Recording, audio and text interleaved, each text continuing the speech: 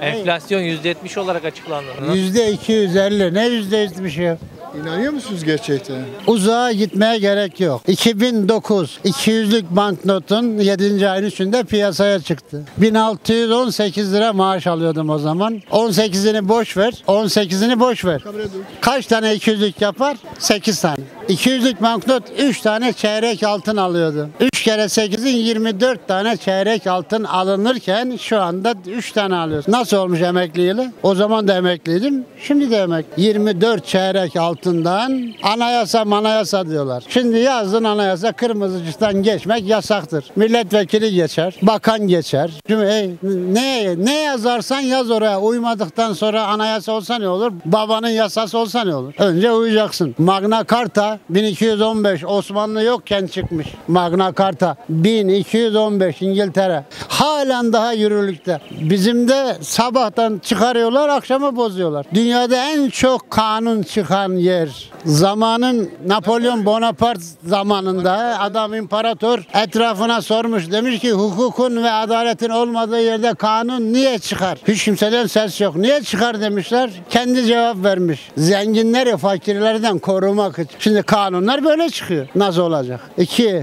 son sözüm 13 milyon Suriyeli besleyeceğine 15 senedir 13 milyon inek besleseydik peynir 5 lira olurdu. Ekonomi falan düzelmezdi falan mümkün değil. İlk önce biz ne yapmamız gerekiyor? Ya bir düzen olması gerekiyor. İlk önce özümüze inmemiz gerekiyor. Biz kimiz, nerede geldik, nereye gidiyoruz? İlk önce kendimizi e, eleştiri kendimize başlattırmamız gerekiyor. Ha şimdi şeye bakarsan, e, ekonomiye baktığı zaman ekonomi tamamıyla bitmiş, sıfırlamış. Çünkü niye sıfırlamış? Çünkü Türkiye Cumhuriyeti şu durumda eğer bir banknotlar çıkarıyorsa 1000 lira, e, 500 lira çıkıyorsa demek ki biz yerle bir olmuşuz. Yani gerçekten biz bunları kaldıracak yükümüz de yok. Ha şimdi ki ne oluyor? Kendi kendimizi kaldırıyoruz. Kendi kendimizi kaldırma şekillerimiz nasıl oluyor? İşte birkaç tane yancı var, birkaç tane orta yolcu var, birkaç tane de namuslu namussuz var. Bunlar bu sefer iyidir, iyi değil hemşerim. Bak eğer bir insan ülkesini seviyorsa, vatanı seviyorsa eleştiriye açık olması gerekiyor. Halkına dürüst olması gerekiyor. Yani rafah, şafak şeklinde olması gerekiyor. Çünkü gerçeği ortaya soktuğu zaman en azından karşıdaki insan gerçekte ben bu hatalarımı gördüğüm zaman bu hatalarımı gidermem gerekiyor. Eleştiri bir kez eleştiri eleştiri vermesi gerekiyor. Şimdi ben eleştiri ben çok iyi biliyorum. Yandaş mesela bazı şeyler ben görüyorum. Yandaş nedir? İyidir. iyi değil. Kardeş iyi deme. Eleştiri yap ki o adam kendine çeki düzen versin. Şimdi bir çevre, bir grup insanlar iyi diyorsa e bu sefer o adamlar diyor ki, gerçekten ben iyiyim değil mi ki? Ha, millet halinde memnun. Millet iyidir. O dediği zaman ne oluyor bu sefer? Kardeş o da şişiriyor. Halkı görmüyor. Adalet mesela Hazreti Ömer adaletine bahsediyoruz. Hazreti Ömer adaleti dediği zaman giderdi zengine alır fakire verirdi. Çünkü zengine neyi alırdı? Zekatı alırdı. Zekat ne oluyor? Fakirlere veriyordu. Şimdi biz fakirlerde zekatı alıyoruz, zenginlere veriyoruz. Ben çalışıyorum ben 65 yaşındayım benim de ameliyat var. 8 tane platin var belimde. Ben gidiyorum şey- şeyde çalışıyorum. Kendim elektrikçiyim, tekniker miyim? Kendim şu durumda elektrik işleri bırakmış çalışamıyorum. Güvenlik işi yapıyorum. Bir fabrikada güvenlikte çalışıyorum. Çalışıyorum çünkü ben başkasının hakkına da gitmiş oluyorum. Çünkü nasıl diyeceksin? Başkasının hakkına nasıl girebiliyorsun sen? Ben eğer İslamiyet'i, dini gerçekte biliyorsam illa birisinin malını gasp etmek değildir. Bedenle çalıştığım zaman o insan hakkına da edebiliyorum. Çünkü gençlerimiz hep boştadır. Ben gidiyorum diyorum ya 20 lira verse ben çalışırım ama bu adam ev kirası olmuş 20 bin lira, 15 bin lira, 20 bin lira. Şimdi bu adamı sen işe başladığım zaman 20 lira çalıştım o bir çocuk olan bir insan ortada kalıyor. Orada bu sefer ne oluyor? Ben onun hakkını yemiş oluyorum. Çünkü ben çalışıyorum ben 20 bin lira razı oluyorum. Emekliyim. 10 bin lira emekli veriyorum. Benim hakkım. Ben bunu hak etmemişim ki. Eğer yabancı ülkede birisi benim ülkeme gelip geziyorsa, eğer bir emekli başka yerlere direkt yabancı ülkelerde gelip ülkelerime en güzel yerleri geziyorsa ben kendim ülkemde gezemiyorsam ülkemde bir sorun vardır. Bir eksiklik vardır. Eksik kimde arayacak? Kendimizi arayacağız kardeş. Biz başta sorunumuza kadar biz eksiyiz. Eksiğimiz nedir? Biz parti tutmuş, e, şey maç tutmuş gibi parti tutuyoruz. Öyle değil. Şimdi ben 12 Eylül'de askeriydim. Kenan Evre de oy vermiş. Ecevit'e de oy vermiş. E şimdi o dönem içerisinde şartlar onu götürüyordu. Şimdi sen şimdi bazılara soruyorsun ya diyor 20 sene önceki 30 50 sene önceki diyor bu mu vardı? Ya Türkiye'nin ömrü kaçtı. Sen bir Türkiye'nin ömrüne de gitsene. Sen şimdi e, o zaman ye- alt, alt zengin kaynaklarımız hep sürüyordu. 2000 yılında bak bir, bir kelime söyleyelim müdürüm. E, neyi kasteteceğim değil mi? Emeklinin ölüm yıl dilimi. Ölüm yıl dilimi. Çünkü niye? Emekliye sen ne vermişsin ya? Emekliye almışsın zengine vermişsin kardeş. Kurban olayım sana. İlk önce git o emekli getirdiği zaman bu emeklinin gerçek kaç para aldığını bir sor bakayım. De ki arkadaş gel buraya ev kirası kaç para ödüyorsun de bir sor bakayım. Sen geçimini yapabiliyor musun? 3 tane çocuğu olduğu zaman bir ekmek 10 lira olmuş. Bir ekmek 10 lira olduğu süre içerisinde 5 tane nüfusu olduğunu kaydederim. Bu 5 nüfus kaç paraya pek geliyor? Kaç tane ekmek alması gerekiyor? Günde 3 tane ekmek aldığını kabul edelim. 3 kere 5'in 15. 15 tane ekmek alıyor. 15 ekmek kaç para ediyor? 150 lira para ediyor. 150 lira hesapladığı zaman kaç para ediyor? Aylığa vurduğu zaman kaç para ediyor? Ya bunu düşünmek gel. Demek ki halkımız burada e, nasıl emekli? Demek ki ölüm yıl dönümü. Bizim, bizim ölüm yıl dönümümüz. Yani emekli yıl dönümü değildir. Nedir? Emekliler bu sene ölsün diyor.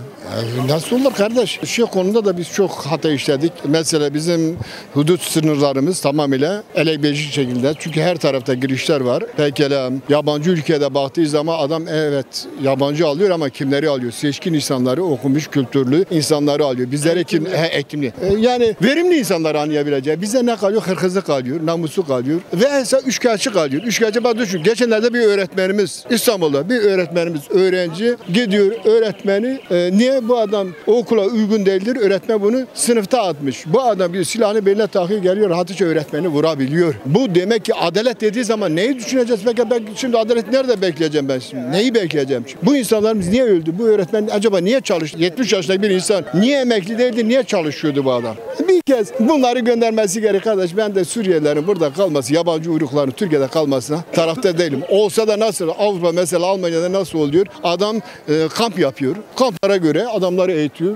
Bırakıyor kamplarına göre yiyeceğini gönderiyor, içeceğini gönderiyor. Şey olarak nasıl diyeyim askeri düzey şekilde mesela izinleri olduğu süre içerisinde o izinler çerçeve içerisinde dışarı çıkıyor, içeriye geliyor. Yani adamlar kontrollü, bellidir, tespitlidir kim var. Bizde kontrol yok, kontrolsüzlük var. Şimdi burada birisi suç işlese gitse burada suç işçi kimliği yok bir şey yok. Ee, İzmir'e ya da İstanbul'a ya da başka yere gittiği zaman sen onu bulamazsın da arasan da bulma şansı da sıfırdır. Ama Avrupa ülkelerinde nedir? Bunlar hepsi listesi hepsi bellidir. İsimleri belli, cisimleri belli, nerede geldi, hangi uyruklu olduğunu hepsi belli. Biz burada Gebze, Kaşbak, Gebze kozmopolitik bir yer. Bak bu çarşı tek vardı eskiden. Şu çarşıya şimdi bu karabalığa baktığı zaman ne kadar Türk var? Abi üstü çağır bakayım kaç tane Türk çıkar buradan. Yarısı hepsi acemi olmuş, yabancı olmuş. Çünkü biz ülkemize yabancılaşmışız. Bir de bunu da söyleyeyim. Mesela diyor ki 9 milyon e, yabancı uyruklu insan var içimizde. Yani Irak, Suriye, İran her neyse. Bu insanlar gelmiş. Yani fiilen bir yeri işgal etmek değildir. 10 sene sonra düşün her birisinin 6 tane 7 tane çocuğu var.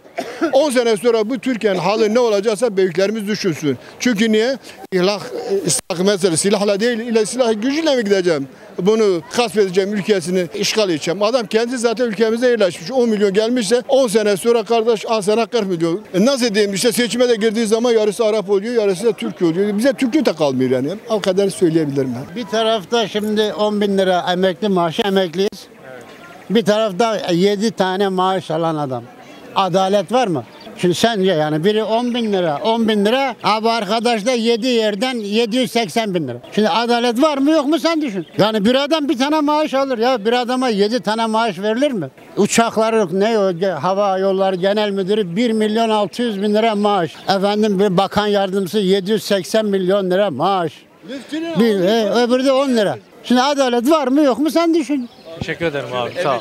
İtiraz ediyorsunuz da maaşı Peki AK Parti'nin kazanması sebebi eleştiriler yine. Ne diyor? Ne diyor? Sen kendin kime verdiğini nerede biliyorsun? Abi Nerede biliyorsun? Nerede biliyorsun? Sen nerede biliyorsun? Defadır AK Yok yok tamam abi teşekkür Sen ederim. nerede biliyorsun? Ben kime verdiğini? anladım abi.